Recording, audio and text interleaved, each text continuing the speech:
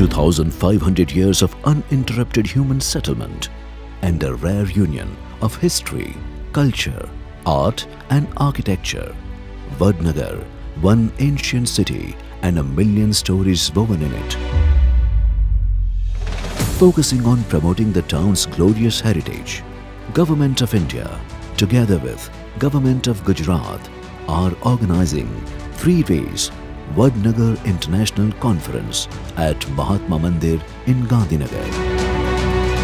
Where experts from India and around the world will share thoughts on the history, heritage and cultural landscape of Vadnagar. And collaborate towards developing Vadnagar into a global heritage tourism destination. We invite you to register yourself on www.vadnagarinternationalconference.com and participate in unfolding the historic city.